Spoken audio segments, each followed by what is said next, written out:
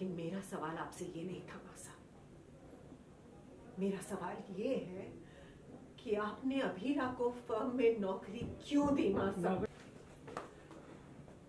ये ये किन केसेस की फ़ाइल है, विद्या, तुम्हें पता है? ये वो केसेस है जो दो महीने में अरमान जीत रहा है, और ये जो रोहित हार रहा अब ये सब अरमान संभालेगा। रोहित को जिताने के लिए। फॉर्म में रोहित का ये हाल है विद्या। और रही घर संभालने की बात तो घर प्यार से चलता है।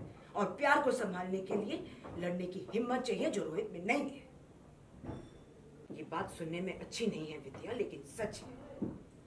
जब रोहित को अरमान और रूही के बारे में पता चला तो उसने क्या किया? हम सबको छोड़ के चला गया।